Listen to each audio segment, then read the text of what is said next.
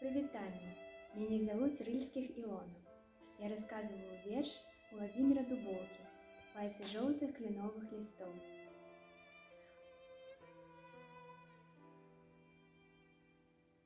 Пальцы желтых кленовых листов мкнутся в осень схопить за шею. Не порушить яе хараство, не порушить листы золотые. Клен у вокны забрызгатаў, адгукнулася канію рэха. Месяц рваў арэхі з куста, раскідаў на сусветам арэхі. Яны воўні блакітнай леглі, сумавала ў даліне ляшчына. Летуценні не змерклі ў галі, летуценняў згасіць немагчыма. Расцярушыцца ўдалі ўвысь, каб нагадваць аб светлым над чорным.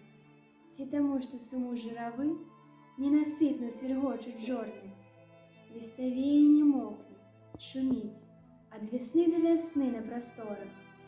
Бор і стрэх і муроў камяніц я пабачыў яе учора.